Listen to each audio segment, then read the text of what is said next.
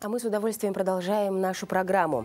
Пандемия коронавируса внесла в нашу жизнь серьезные изменения. Всеобщее голосование за поправки в Конституции планировали изначально провести 22 апреля, но из-за неспокойной эпидемиологической ситуации в стране а, эту дату перенесли.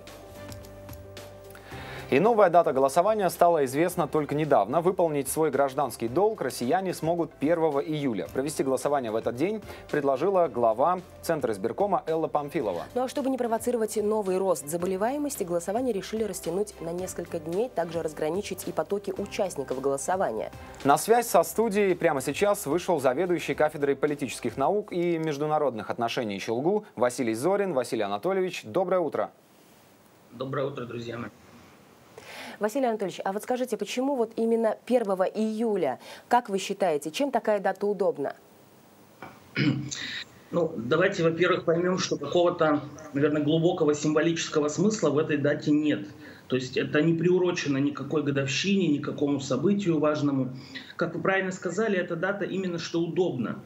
Потому что вот этот вот постепенный а, выход всех нас из э, режима карантина и возвращение к нормальной жизни, чего мы все, конечно же, очень сильно ждем, а, начнется с целых трех, на самом деле, больших событий. Это Парад Победы 24 июня, это ЕГЭ, которая начнется 3. Ну и вот между ними, скажем так, образовалось некое а, окошко возможности, куда по предложению действительно Эллы Александры Памфиловой, главы Центризбиркома, решили поместить э, еще вот это вот действительно общероссийского значения важнейшее событие. То есть вот э, просто удобно на самом деле, удобно, хороший момент, поэтому решили именно воспользоваться такой возможностью. Василий Анатольевич, э, когда голосование планировалось провести 22 апреля, экономическая и политическая ситуация в стране были совершенно другими, и э, с переносом даты как-то изменилось отношение людей к голосованию?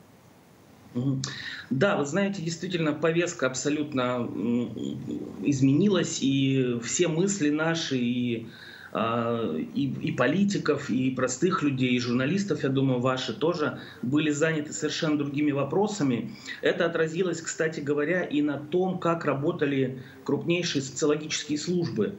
То есть вот а, вопрос о том, собираетесь или не собираетесь идти, как будете голосовать на этом а, мероприятии, он действительно крупнейшими социологическими компаниями не задавался с марта. Но вот буквально на прошлой неделе Всероссийский центр изучения общественного мнения опубликовал результаты своего опроса на эту тему. Ну, то есть они возобновили практику вот, э, вот этих исследований.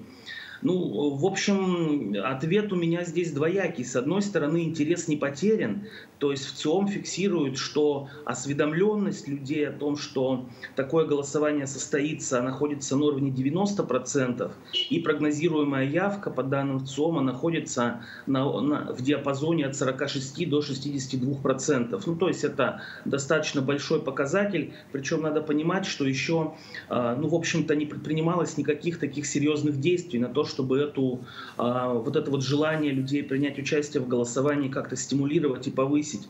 То есть, с одной стороны, мы видим, что тема все-таки в головах у людей а, была закреплена еще в феврале, в марте, она достаточно актуальна, она пользуется особым вниманием, и интерес этот не ушел. Но с другой стороны, я бы, конечно, присоединился к вашей позиции по поводу того, что очень много изменилось, и, наверное, изменилось прежде всего отношение людей к содержанию этих самых поправок. И я позволю себе высказать гипотезу, что, э, возможно, люди те поправки, которые э, предлагается утвердить, будут воспринимать еще более остро и э, с более высокой степенью актуальности, потому что поправки как раз-таки направлены на то, чтобы защищать прежде всего социальные права людей, а то, что эти права могут находиться под угрозой, скажем так, и что их действительно нужно защищать, я думаю, мы все очень явно и прекрасно поняли вот в, в период борьбы с пандемией. Абсолютно согласны. Спасибо вам, Василий Анатольевич, что вышли с нами на связь. Мы напомним, что сегодня с нами на прямой связи заведующий кафедрой политических наук и международных отношений Челгу Василий Зорин. Спасибо, хорошего дня. Ну да, кстати, вот одна из поправок э, направлена на охрану окружающей среды и защиту животных. Наши животные, и следующей нашей рубрике, в защите не нуждаются, но зато они нуждаются в признании публики. Следующая рубрика «Пока все хвосты дома». Смотрим.